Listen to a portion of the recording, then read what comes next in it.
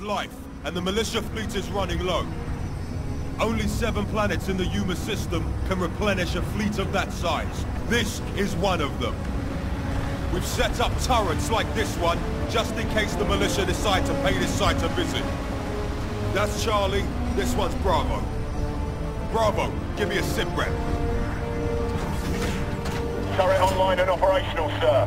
What's Admiral Graves? Zulu 3 shows multiple jump signatures. Three clicks out. Blisk, tell Briggs to get his squad on the deck now. Sir, our forces have assembled at Ready Point Alpha.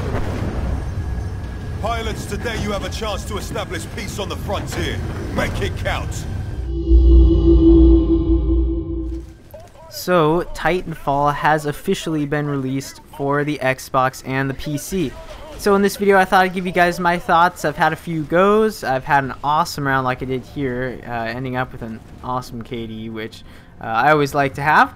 Um, but anyways, so basically in this mode, uh, hardpoint domination, you're going to be trying to capture these, um, these little points, these capture points, just like in any other game, Battlefield, Battlefront, it's all the same stuff. Um, but basically, I thought I'd give you guys sort of my feelings towards the game right now. So basically, if you're wondering if there's a single player, the answer is yes and no. So basically, the way the single player works is, as you saw in the intro to this video, you'll be in sort of this little gunship like thing and you'll sort of be briefed by this commander admiral captain guy and he'll sort of tell you what's going on and that's sort of what progresses the story there's no dedicated single player in this game uh, when you play you're always going to be playing with other players and obviously the grunts which are controlled by ai so whether you like that or not it's just a matter of fact thing that's the way this game operates that's the way the single player works and that's the way the story progresses. So uh, my my opinion on that is uh, it actually seems to work sort of well. It's it's pretty it, it keeps you interested. Uh, you don't get sort of this dull combat that you get with a lot of AI in a lot of games in Battlefront in Battlefield. I mean. Uh, in Call of Duty, all those games, AI sort of gets stale after a while. As, as awesome as the story is, I enjoy the story in uh, Call of Duty and um, in Battlefield, uh, sort of. Anyways, uh, the, the story is really what players want to see in a campaign-driven mode to a game. So in this game, I think they've sort of realized that AI sort of gets stale after a while. And so I think that when you do have these multiplayer matches that progress the story, it's something new and it's something uh, I, I think was employed pretty well. I mean, it's not perfect. Uh, I mean, you don't get quite the, the same sense of immersion that you may in a truly single-player game, but uh, it, it works for Titanfall. But because of that, because there's sort of a limit, these are only multiplayer maps. Now, I believe there's about 15 maps in total. And, of course, I haven't played them all, um, but I have played a majority of them, and they're really well-designed maps. They're balanced, uh, they just flow. They they make it so you can flow in between Titan combat and pilot combat really seamlessly. Okay, so you're going to be seeing uh, wide open areas, yet those wide open areas are also sprinkled with a lot of cover. Okay, so Titans are not overpowered. Uh, I mean, if you watch anybody on YouTube, if you watch anybody playing this game, they're going to tell you, uh, a majority of them are going to tell you the same thing the the Titan combat isn't overpowered because pilots have so many tools at their advantage. You can rodeo Titans, you can have your Titan go after them while you're a pilot, you can be in your Titan while you're a pilot, you can use your anti-Titan weapons, the list goes on. Okay, so there's a lot of variety in this game. Now, where I find that that variety sort of teeters off is in the customization. I find that having only three Titans and a limited number of customizations for the weapons for those Titans, as well as even for pilots. Pilots have such limited customization. So for example, you have maybe, I want to say there's maybe around 10 weapons or so, uh, main major weapons that you can use as a pilot, primary weapons. Okay, but in those primary weapons, maybe you have three different types of scopes, uh, maybe you have, uh, you know, three different types of you know barrels or something like that. Okay there's not much customization in this game and that's where I think it sort of it sort of loses its appeal. People like to see a lot of customization these days. Now that being said I don't want to see something that copies Battlefield 4's sort of way of dealing with weapons. What Battlefield 4 has is they have maybe 12 or so weapons in each category. You might have 12 LMGs, 12 assault rifles, and so on. So that's great and all, but then maybe you'll only use two or three of those weapons, and the rest you'll never use because they just don't fit into the game. They're not good. The other ones are so much better than those. So when you have something like that, there's no purpose to having those nine extra guns if you're only going to use the three. So if that's what Titanfall is trying to do, they're only giving you three Titans.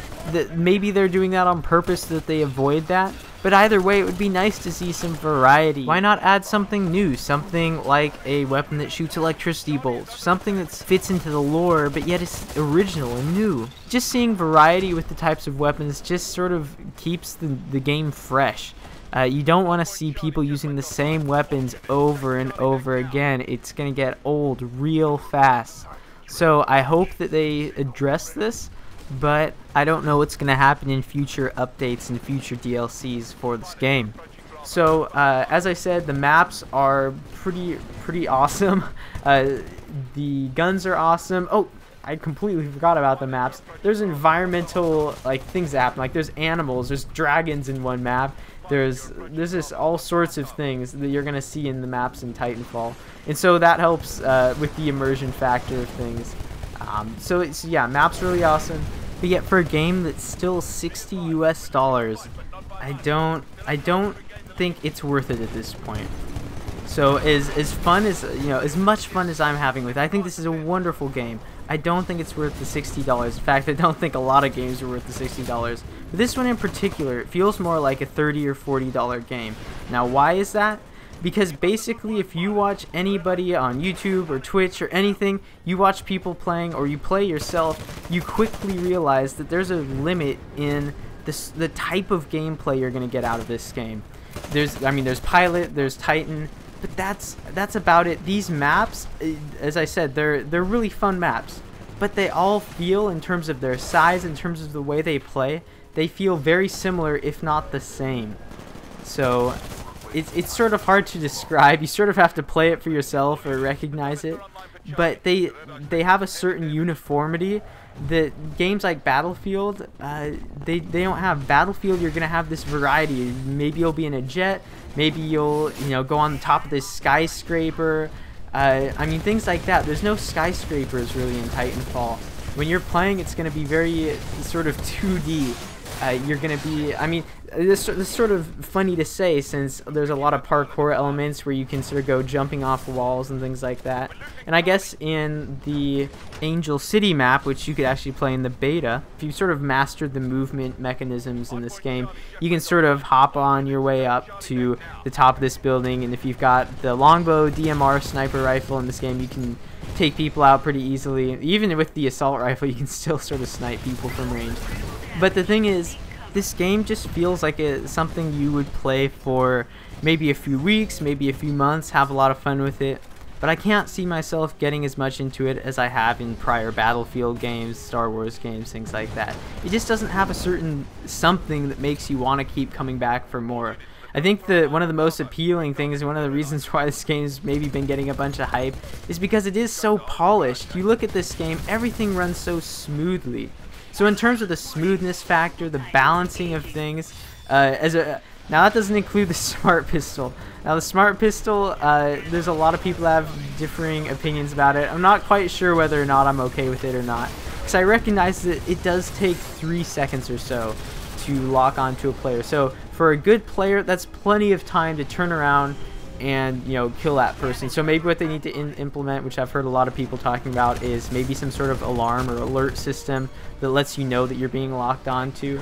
Because right now the smart pistol just sort of rewards the unskilled player. It doesn't really give them any incentive to try to use a different weapon that's harder to use. So I, I'm always, you know, I'm pretty skeptical of things like that. I'm, I'm always for like learning curves. I enjoy games that have uh, you know, a steep learning curve, any type of learning curve, as long as you have this sense of reward. And I feel like the Smart Pistol sort of defeats that and sort of spits in its face. And yeah, not cool. So the Smart Pistol probably needs some balancing. Other than that, as I said, everything feels really balanced. The thing that seems to be missing now is content. and maybe we'll be seeing that in the form of the season pass, uh, deluxe editions, things like that.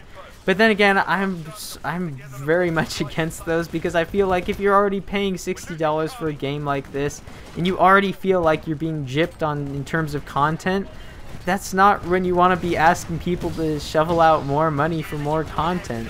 It really should have more content in the base game. So I, that's my opinion about it. But if you guys are really interested in this game, uh, I highly recommend that you guys check it out. Um, but as I said, I would probably wait for it to go on sale on Origins. Hold on one sec. Rodeo! Oh, I do think that for a majority of this gameplay session, I sort of forgot about the Titan. I was just having so much fun with the gunplay. I sort of forgot I have Titans that I can use. But as you guys have seen in this game, the gunplay is so fun. I, I do hope they'll add more modes because there is sort of not that many modes. It's basically just attrition and that's the main mode I see other people playing. I see myself playing.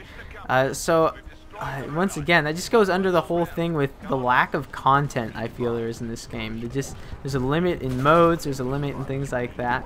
But there's a lot of room for awesome tactics and awesome reflex shots, as you saw there. When I called in my Titan there, I sort of called it in there on purpose because when you call in your Titan, you'll notice that there's sort of this shield, this barrier thing that sort of sits around your Titan for a short amount of time. So I do recognize that there is a lot of room for awesome tactics if you know how to try to use the mechanics of the game to your advantage. Uh, you can also make Titans fall on other Titans. I'm pretty sure it blows them up. I haven't been able to do it myself.